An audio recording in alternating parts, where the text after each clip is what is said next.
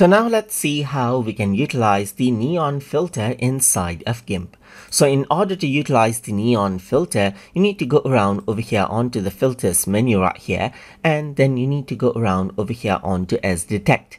Then over here you can see that neon is an option. So if I were to go around and click right here, then you can see the neon like effect right here. So you can go around and change around the radius of the neon effect as you can see just like this and change around the intensity of the neon effect. You can go around and change around the intensity right here as well, just like this. Apart from that, you can go around and work around with the opacity right here to get the level of effect that you want right here.